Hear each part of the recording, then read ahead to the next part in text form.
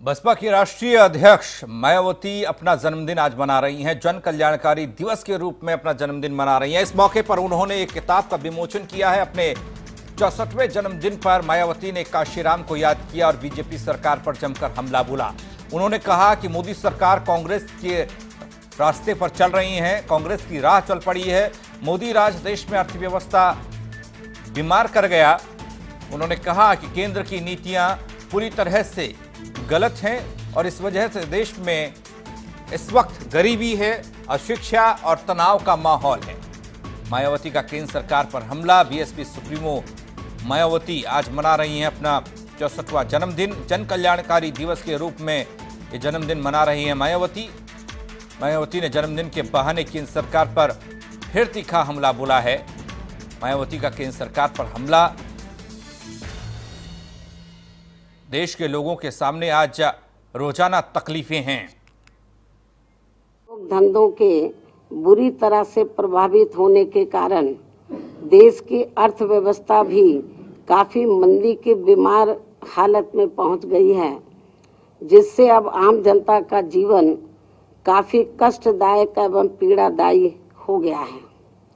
तो ये सब मौजूदा केंद्र सरकार की ज़्यादातर गलत नीतियों संकीर्ण सोच एवं कार्यकलापों का ही परिणाम है, नतीजा है। देश की जनता के लिए ये भी बड़े दुर्भाग्य की बात है कि वर्तमान में केंद्र की बीजेपी सरकार भी अब कांग्रेस पार्टी की पूर्ववर्ती सरकारों के रास्तों पर ही लगातार चलकर इनको काफ़ी त्रस्त व दुखी किए हुए हैं।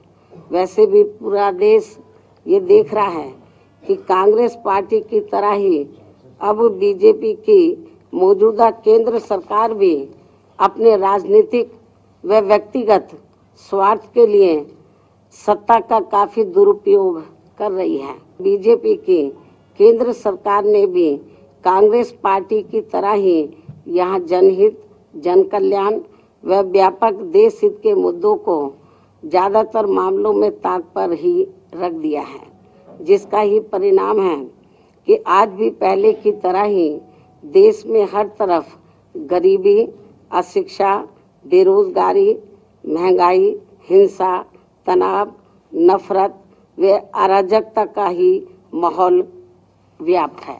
नोटबंदी, जीएसटी, असम राज्य में दोबारा से एनआरसी, फिर नया नागरिकता संशोधन कानून व एनपीआर तथा समस्त देश में एनआरसी आदि के जंजाल से लोगों का दिन प्रतिदिन का जीवन त्रस्त, तनावपूर्ण व बेहाल आदि बनाने की अपनी जिद को छोड़कर, खासकर इनको विकास के अपने वायदों पर ही पूरी तरह से केंद्र की बीजेपी की सरकार को केंद्रित करना चाहिए।